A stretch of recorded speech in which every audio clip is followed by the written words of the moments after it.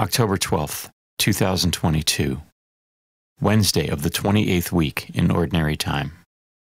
A reading from the letter of St. Paul to the Galatians.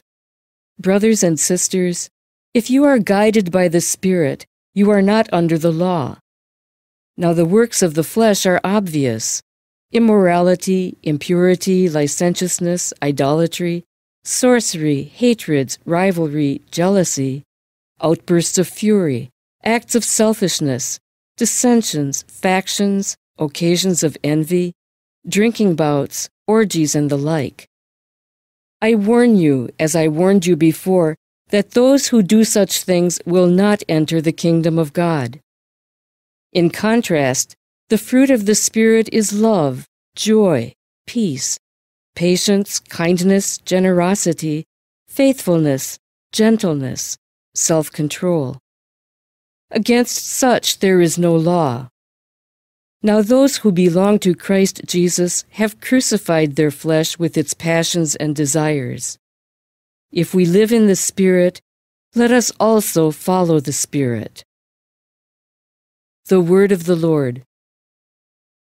The responsorial psalm.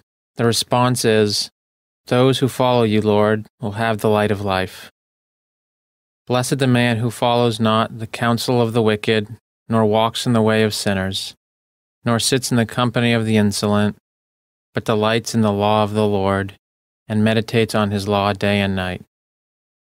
Those who follow you, Lord, will have the light of life.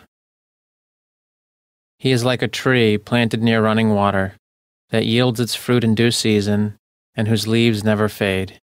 Whatever he does prospers. Those who follow you, Lord, will have the light of life. Not so the wicked, not so.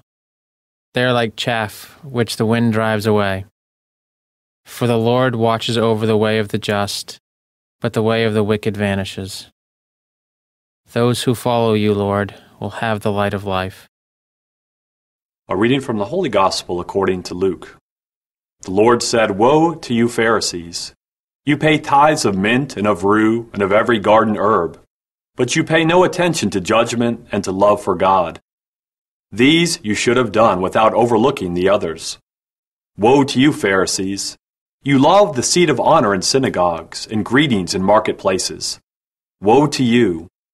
You are like unseen graves over which people unknowingly walk. Then one of the scholars of the law said to him in reply, Teacher, by saying this, you are insulting us too. And he said, Woe also to you scholars of the law! You impose on people burdens hard to carry, but you yourselves do not lift one finger to touch them. The Gospel of the Lord. In the first reading and Gospel, we hear strong words against the temptation to judge others. Both readings warn of the consequences of judging others harshly. And while the negative tone of these readings may surprise us, there's a positive invitation implied in these scripture passages. And that is the invitation to live in the Spirit, to live daily as a missionary disciple of Jesus. On various occasions, Pope Francis has invited the faithful to live the Christian life as a missionary disciple. Every Christian shares in the evangelizing mission of the church from that first encounter, personal encounter with the love of God in Christ Jesus. Life is not the same after one experiences God's immense love revealed in Jesus' life, death, and resurrection. From the experience of God's love, Jesus sends his disciples and us on mission to be his laborers for the harvest. Missionary discipleship begins and grows in friendship with Jesus Christ. That becomes a source of divine grace, forming and transforming us into disciples in mission.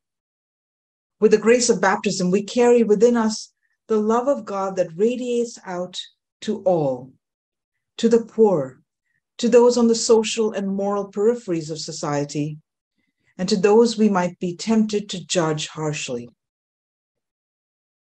To be a missionary disciple is to be attentive to the voice of Jesus calling his disciples to a new life of faith in him and to a life of mission. To express faith in acts of kindness, mercy, patience, and charity. This is what it means to live in the Spirit, as the first reading notes. For the fruit of the Spirit is love, joy, peace, patience, kindness, generosity, faithfulness, gentleness, and self control. God's word today invites us to become more and more Christ like in our thoughts, words, actions, and in our judgments of others. How will we respond to Jesus' invitation today? Have a blessed day.